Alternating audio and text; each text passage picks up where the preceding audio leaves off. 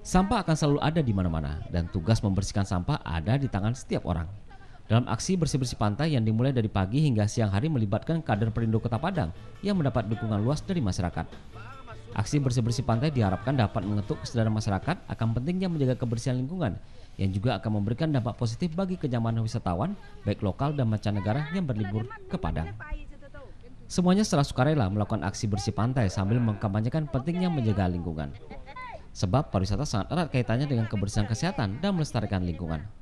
Sambil aksi bersih-bersih, peserta juga disuguhkan dengan pemandangan pantai yang begitu indah. Kegiatan semacam ini cukup positif untuk memupuk kepedulian masyarakat terhadap lingkungan sekitar terutama kebersihan pantai.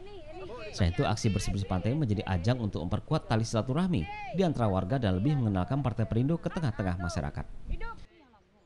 Oh, Pantai Perindo oke. Kami minta minta bantuan sama Perindo. Masyarakat dibantu Perindo dulu. Uh, kegiatan hari ini kita DPD Perindo Kota Padang temu warga dengan kader kita yang kebetulan juga pedagang di Pantai Karolin mereka sangat antusias sekali untuk bergabung dengan Perindo dengan harapan program-program mereka, program-program kita nanti hendaknya menuju ke mereka.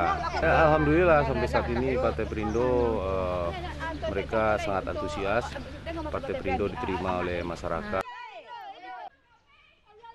Dari Padang, Budi Chandra, INews melaporkan.